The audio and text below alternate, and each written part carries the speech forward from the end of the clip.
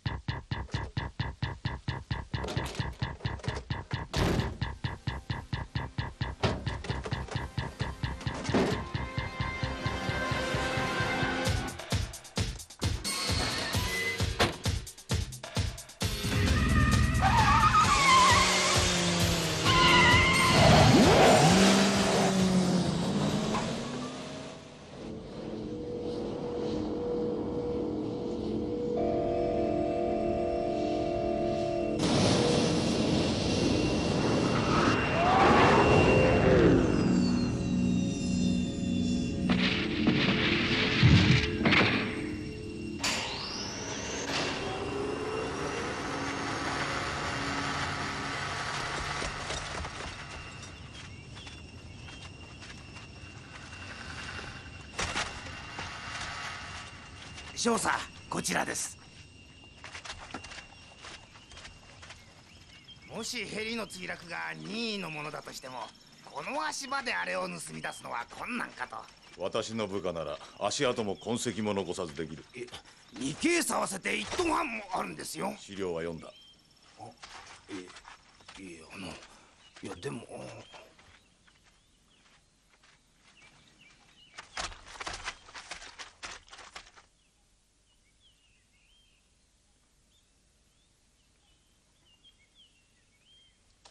パイロット2名を2キロ北で回収しました。別々に保護して自白剤を使用しました。エンジントラブルによる事故だったようです。兵たちに伝えてやれ。少佐こちらへ。専門家をここへ。中身は何だったんです？某国のロボットウェポンは6足と聞きます。あっちへ行こうか。食べるな。自然に振る舞え。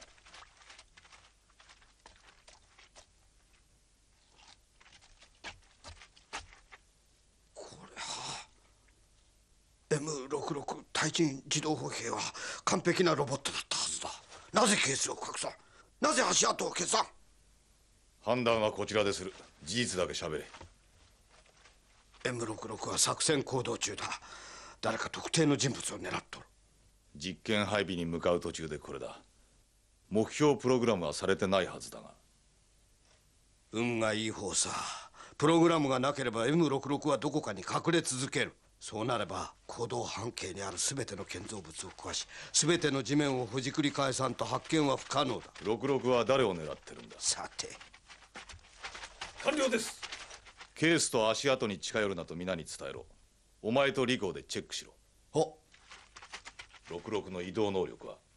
冷却剤を注入してないから冷却コードの時間を入れて軽車両クラスかな。ロジャーセントラルシティとこの森林地帯周辺から政府閣僚外交官何でもいい。とにかく VIP と思われる人物を退去させろ。必要なら警察を使え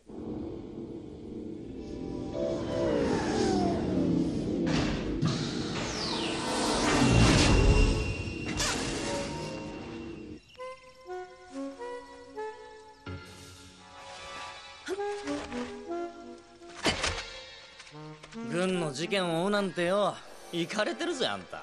じゃあ残りなさいよ。ここに？おいおいおいおい。もしもし？もしもし？お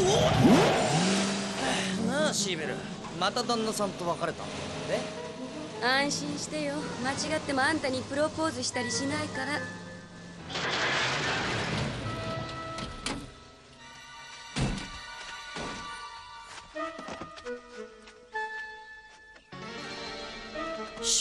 結婚して楽しいか？つまらない男よりよっぽどワクワクするわ。軍用機の墜落か。奴の装甲板は2万発のライフルダーツの集合体だ。うまく奴を捕らえたとしてもそれをばらまかれた上自爆されてはどうにもならん。リゴスレイドー教授と協力してその分野の責任者を幹線道路へ連れてこい。高速艇を使え幹線道路で網を張る。やばいよシーベル。えー、これやべえぜ。命と引き換えのスクープなんて願い下げだ。俺は降りるぜ。関係ねえもんな。いいわよ降りなさい。でもその足でフィルムの売り込みに行くのよ。うまくいけば今夜のニュースに流せあんたはいいよ家族がない。ネタ欲しさに人の車で寝起きしてるくせに何が家族よ。軍隊が装甲を持った凶悪なやつと幹線道路で一戦交えようってのよ。こんなチャンス二度とないわ。こういうの特ダネっていうのよ。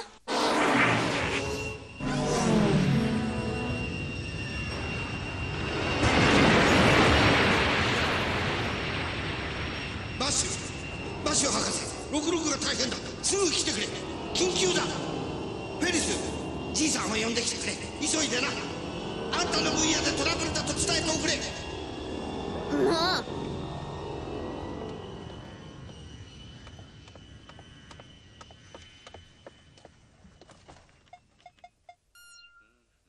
もうわったはい公平部隊。ああマシュー博士のお孫さん。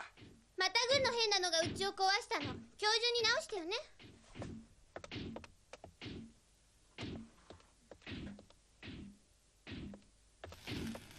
じいさまおじいさま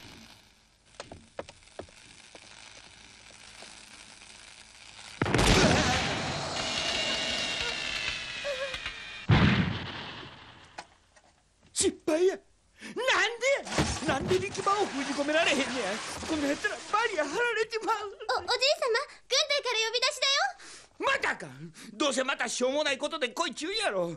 研究の邪魔ばっかりしくさっても。研究費もこの家も軍からもらってるのに？心まで打った覚えはないで。あ私も友達と町行くから鍵持っといてよ。システム自体を組み直さんとあんなもんやったらすぐやられてまうな。ちと厄介なことになったぞ。こっちもや。システム自体の欠点を見つけた。そりゃいいなんちゅうこと言うねこの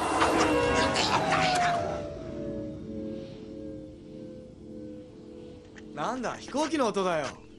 森の妖精が笛吹いてんのかと思ったぜ。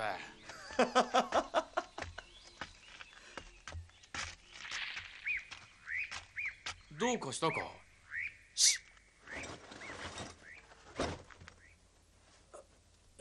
なんだ？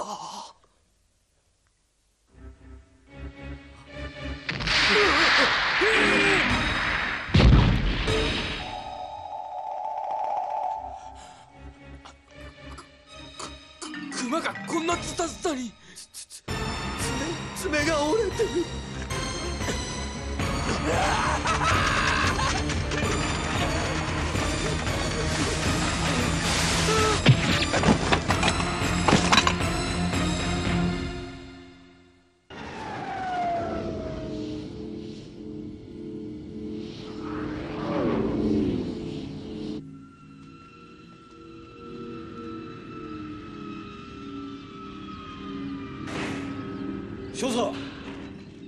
包囲網の縮小で予定の地点に出てきます。おい兵隊たちはどうだ？緊張してます。UFO とでもコンタクトするんじゃないかと。指示した装備はさせておるか？はい。しかし操作に慣れていないんで。続けろ。林の中に兵を入れたがいえ。少佐！3時5分0度の方向ロボットはこんな間抜けじゃありません。罠かもしれん。10人使え。66なら手を出さず待てはいっぱい兵では邪魔に状なる況は？それが。事故現場に残った班から連絡がありました。谷で熊と2人か3人の登山者の死体を発見。これがどうも66の仕業らしくて。その死亡推定時刻からすると66はもうここについていていいはずなんですが。ではもう外に出ておけ。車は危険だ。はな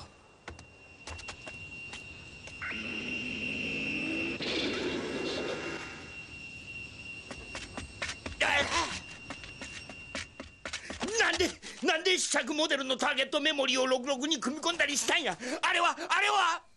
巡航ミサイルみたいなもんかな。何が起こるんだろう。俺が消えたら女房心配してくれっかな。よしイベル。ここ安全なのか？あんたが静かに見張ってればね。ビクビクしてるといい絵が撮れないよ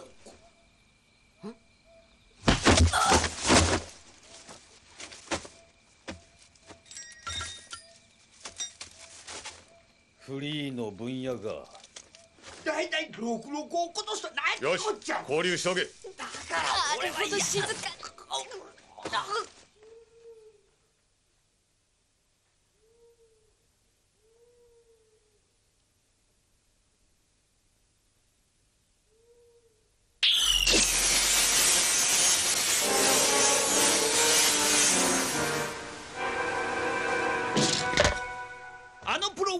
まだ実験用やって言うた本当にあはずですれでロボットを抑えられるのか。配置が正しかったら。なんだ？2名生命反応が消えました。全員に知らせろ。C 体制。あと頼んだぜ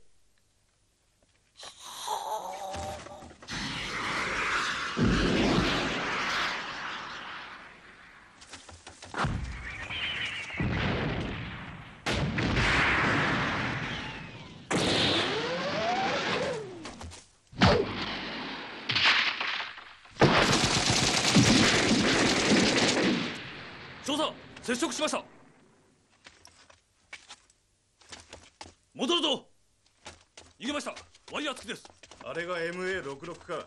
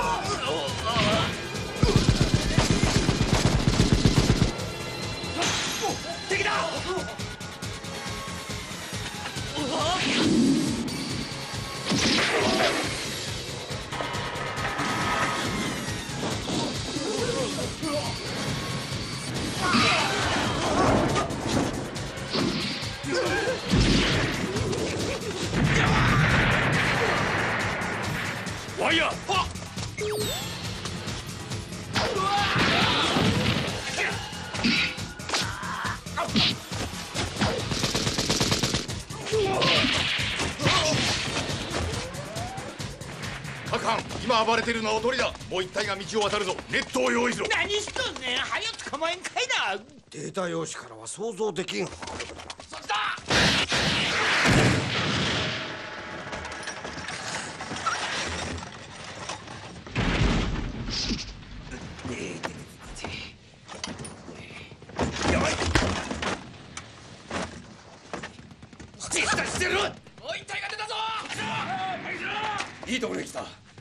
を見当ててくれ。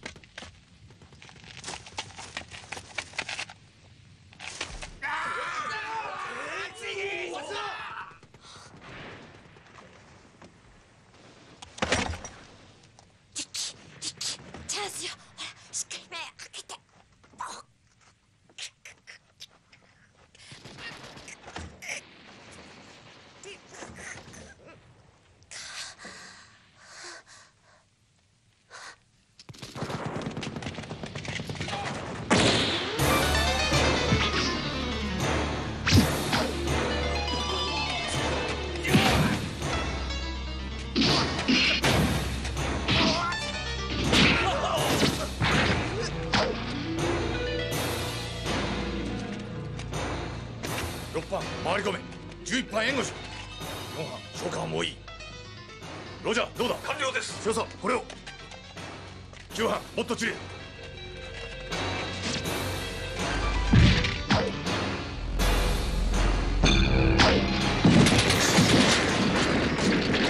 そいつで抑え込め。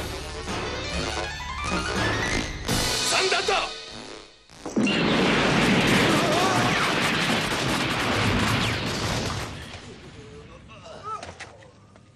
専門家を超え。全員ガスマスク着用。これを。うん。お前も早くつけろ。も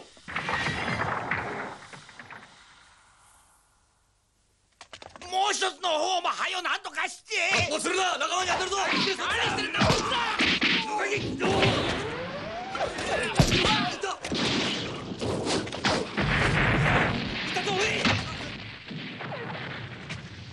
サーモグラフを使って追え少佐ダメだ。林には入るな。使える兵を集めてついてこい。はっ。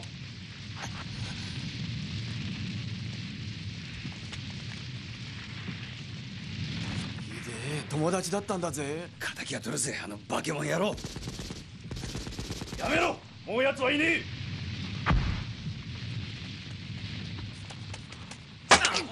納品急ぐからちゅうてテストプログラム入ったまま空輸したりするからや。悪天候やのに。事故だ事故。向こうにつけばテストプログラムは上から入れた実際のプログラムに押し流されるはずだったから。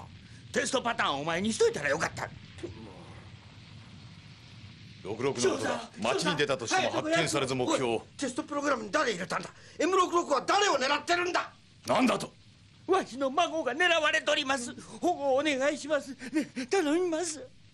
孫のデータでプログラムのテストしまし墜た落事故と今の戦闘でプログラムが狂った可能性も考慮に入れての判断か。可能性は十分です。分かった。行くぞ。は我々は北側の工作の線でも捜査している。あんたの孫が狙いと決まったわけじゃない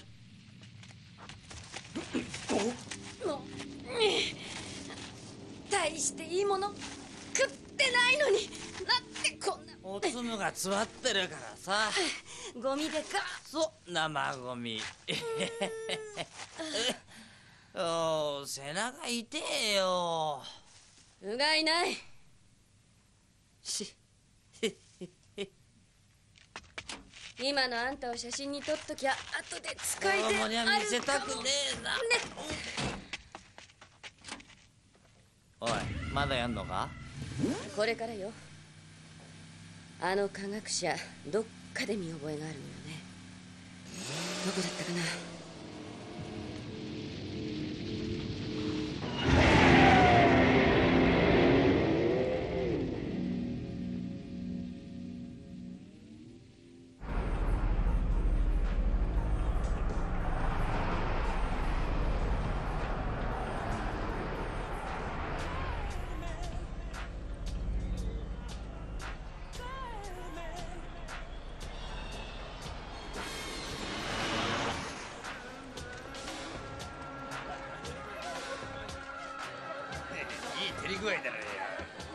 のサブロクインタークーラー付きターボだぜ業界でのスタイリストの扱いがひどいのよもう。でもねでもね最近のニュースパンうまくねえから最後なに説明させて。ねえねえこれフェルスの。おじい様だ。悪党面だと思ってたんだよね。二足歩行とその制御って本出したのよね。ねえ軍属じゃなかった？うん欲張りなのつまり軍が発注してたわけだ。そのマーシュ博士ここも通れないわ。この記事だけじゃ正確な住所わかんねえな。しかしよ食べ残しに服があるってのは本当だ。おい！TFT テレビの受付に緑の目をした男の子がいるからその三つ星マークのフィルムを届けてちょうだい。その子が目当てでこの仕事を。他の子には渡さないで。博士の家どうやって探すんだよ。大声出すと軍人が来るわよ家があるから塹壕掘ってあるんじゃない。見つけるわよ。と。取りつかれてんなありゃミッドナイトニュースにゃこのフィルム流せるぜ。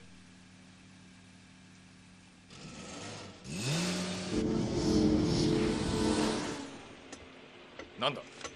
技術班には敵にガセをつかませるため泳がせておいたスパイが。マークしてなかったのか。いえ整備士の一人がそのスパイと接裏切り者か。家族を盾に脅迫されてスパイが仲間に M66 のことを知らせるために整備士を使ってこの事件を。整備士の家族は保護捜査は外務省に引き継ぎました。よし A2 級報道管制だ。その整備士の名前は？名前は？言うな。兵たちにも伏せておけ。はい。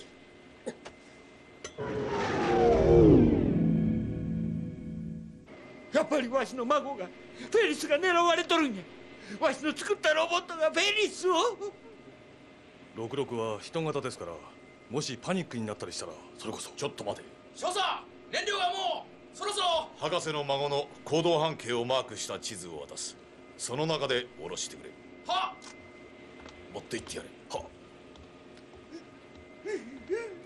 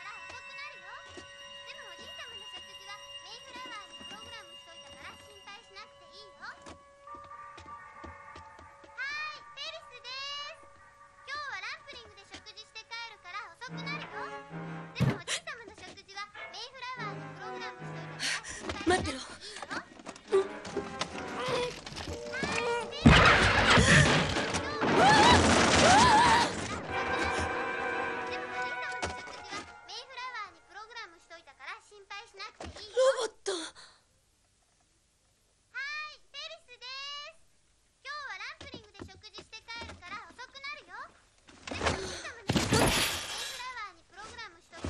軍のロボット兵器が制作者の孫を狙ってる。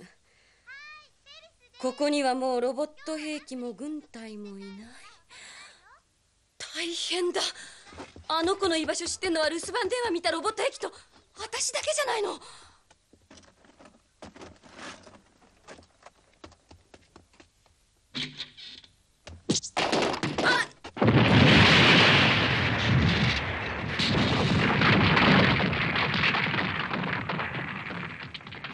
ロボットがなんだ見てろ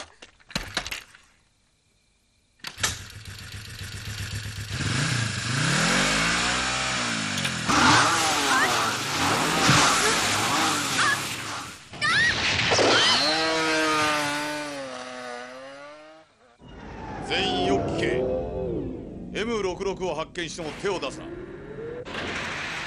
このビルの16フロアのランプリングという店が本命だ。どうじゃ行って保護してこい。中村。おいおい小娘のおもりかよ。少佐まさかわしの孫を見殺しにして F6 が回収信号に応じるようになってから。以後通信は緊急コードで行う。予備のロボットに逃げたロボットのデータ入れて処理させたら？時間がないじゃん。ダミーを使うのは？警戒させるだけです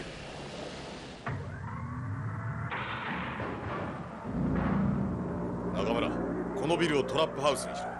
行かれたロボットにこれ以上兵を殺されたくない。はいもう殺させません。テストの時よりはるかに C1 はビルから人を全員待機不させろ。十分なデータを C2 は渡したことはソビーで私のところに集合しろ。すまん思ってます極秘だ。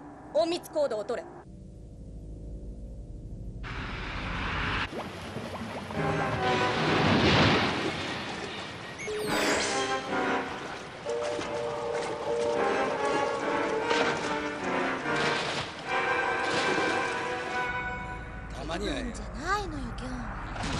減るもんじゃねあ泥棒。で。ちょっとはいじゃがいますよ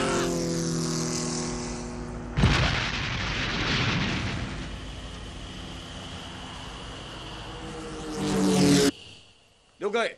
おいもっと目立つように立ってろよ。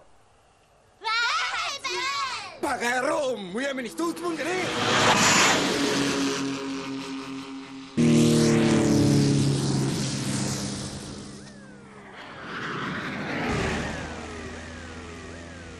警察官。話したら信じてくれるかな？ダメだ。寄り道してる間にあの子が殺されちゃう。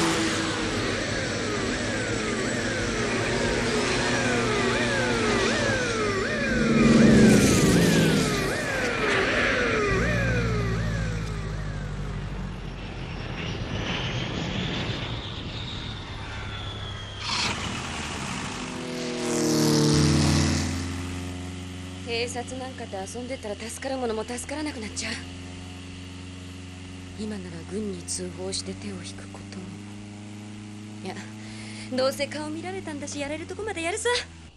はいそうです。こちらにはいません。このまま張り込みます。何かあったんですか？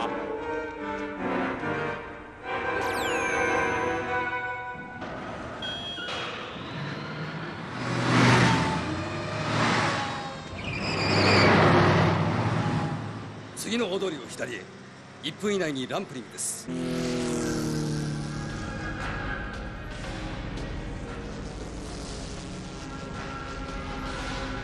かこの辺りにあるはずなんだけど。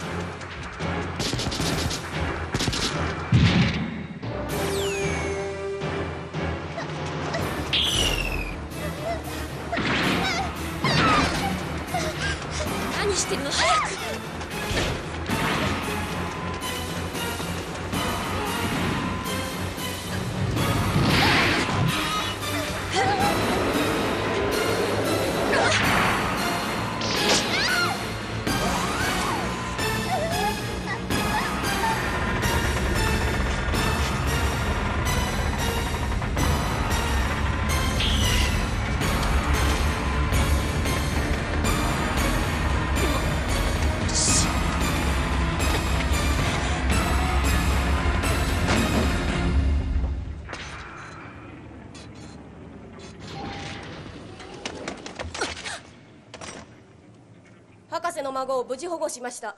屋上へ出せ。ロジャー屋上で博士の孫を受け取れ。高速艇を使え。お来ます。よし戻れ。よ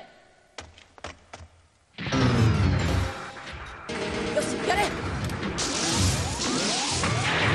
パーポこのまま二人と屋上へ。我々はロボットを回収しに戻る。ここから仕掛け始めといてよかったっすね。当然のことよ。おい軍隊がこの辺を立ち入り禁止に。急げ。温度が下がれば奴はまた動き出すぞ。報道関係者。としちゃ失格なんだろうな。そういうことしてるってのは。でも俺は尊敬するぜ。お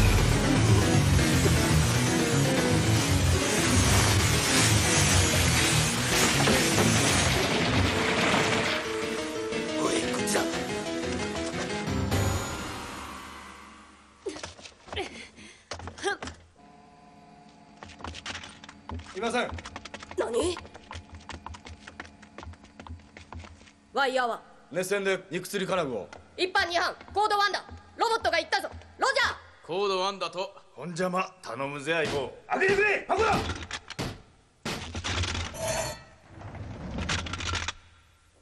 奴ももう来るぞ。上へ急いでる。非常階段はあっちだ。あなた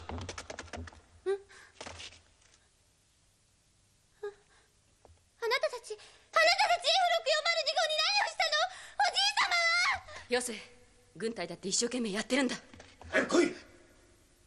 さ他に逃げ道は？これで上へ。時間を稼ぐ。ドーナツのスイッチを入れろ。奴の全機能をブロックしてくれる。クソ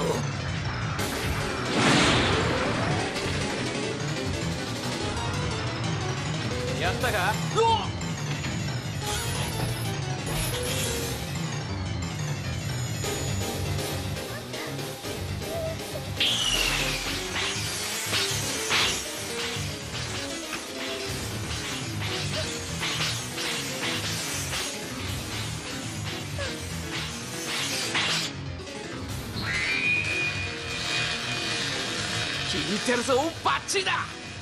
ナツで封じ込めろ回収班を呼ぶ。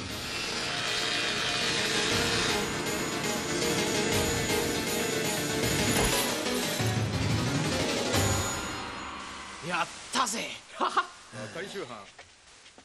F6 を電流を切れ。ああ。捜査に報告を。えー、っと。まず後頭部のピンに赤い髪の毛の先を差し込み。お。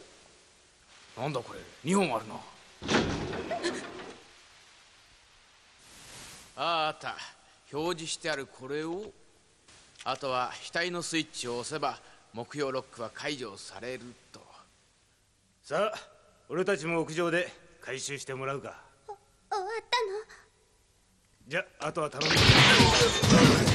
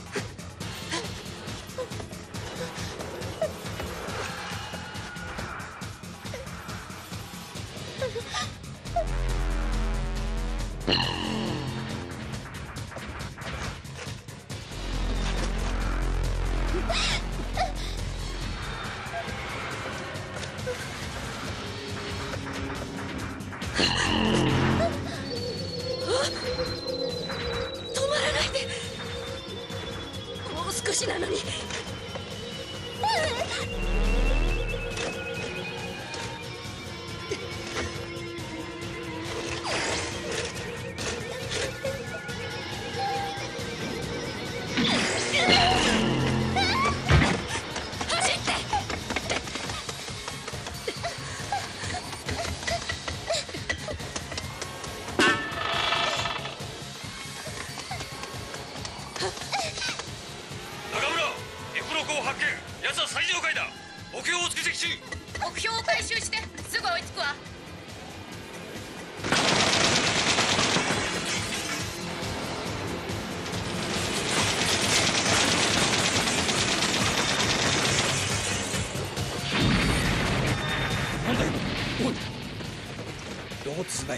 標の方だ。箱が一緒じゃないのか。中村分隊長屋上へ出る通路で保護目標と接触。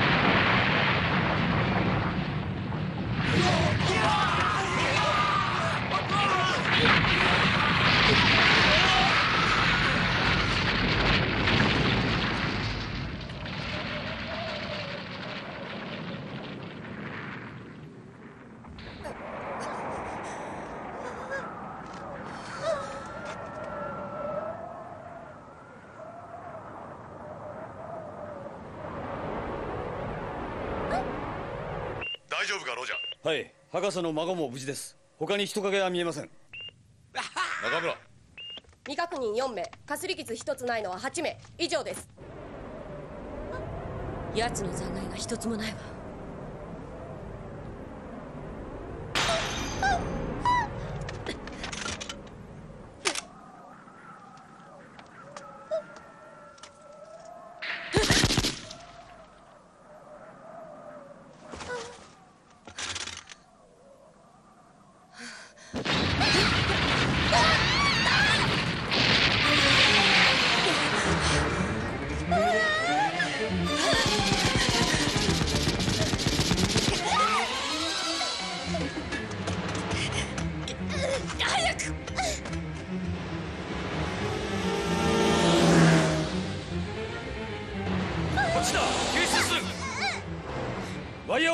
それに体を固定しろ。いいな。おい機銃で二人を援護しろ。二人にも当たります。なんてこった。おいもっと近づけろ。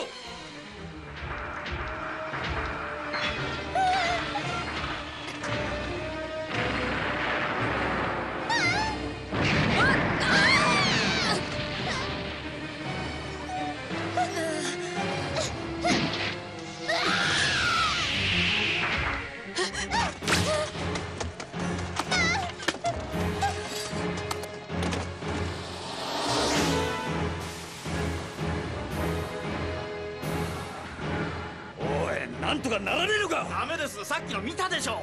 ワイヤーだ。俺をあそこへ下ろせ。無茶せんでください。ここで眺めてるってのがよえ？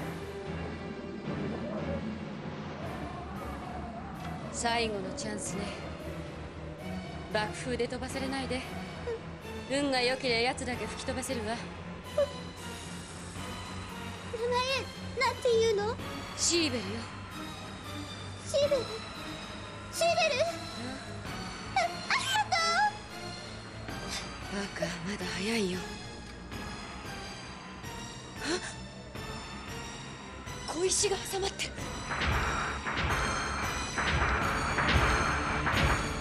なんでなんでよ。神様一体何してるの？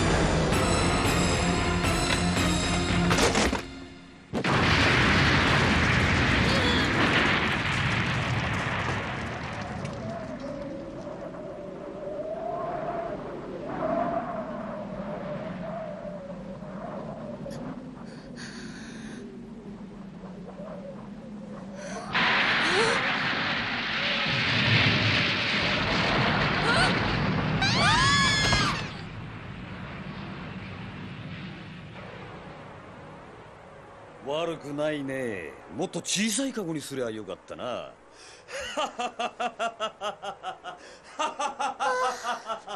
助かったわ。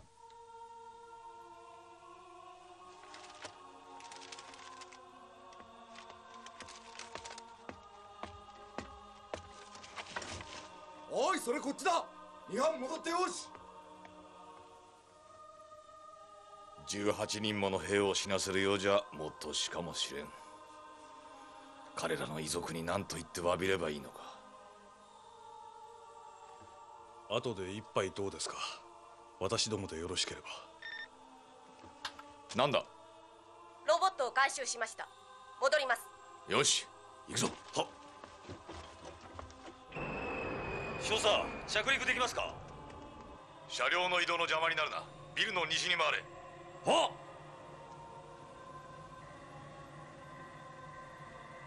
いつもこんな危険な仕事？を私の危険はこれからよ。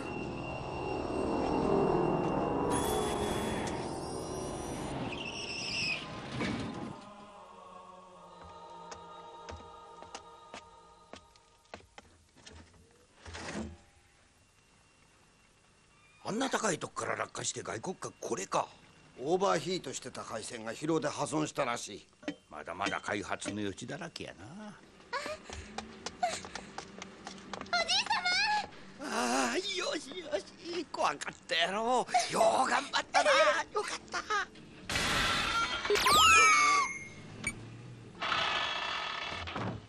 にシールルダメダメよな何がダメだ小僧おじい様。なんやどうかしたんか。なあベリス。こればっかりはちょっと無理やで。無理の一つや二つ通してよ。そら科学的やないで。そんな。たった一人のこんな可愛い孫娘の命の恩人を見捨てる話してやれ。少佐ん？例の登山者たちの復元作業で考古学者の協力を要請します。サインを。北のスパイだった可能性も十分だ慎重。に彼がなぜ私を釈放したのか今もって明らかではない。この事件そのものが内部の反目感情を高めるための喜劇だったのかもしれないしもうあの白い顔は機密でも何でもなかったのかもしれない。公式発表はやはり北関係のテロリストがビルを爆破となった。反論も少なくなかったが大衆を煙に巻くのは簡単だ。その後フェリスからは3度ほど手紙をもらったがそれっきりだ。実を言うといまだに私自身あれが現実だったのかどうかはっきりしない。こうしている間にもどこかで北の兵士があの人形と戦っているなど想像もつかない。私のカメラはフィルムごと没収されたが一本の貴重なフィルムがミッドナイトニュースに流せたため新しいのはすぐ買えるだろう。皆さんこんばんは。鉄道の混雑と駐車場の氾濫ですでにご存知の方も多いと思いますが今夜中央幹線道路で事故がありました。当ミッドナイトニュースでは事故の模様を映した貴重なフィルムを入手いたしましたので現場を撮影なさったリチャード・リーキーさんと一緒に見ていきましょう。えー、っとリーキーさん交通事故ではないようですね。ええそうなんですよ軍隊が集結してる様子ですね。いやいやこの撮影は怖かった本当に。特殊部隊のようですか？これはまた戦闘時代とても危険でしてね。撮影できなかったんですよ。兵士が邪魔しましてね。でも私はこれは報道すべきだと思ったもんですから命を懸けてでもあらかかシーベル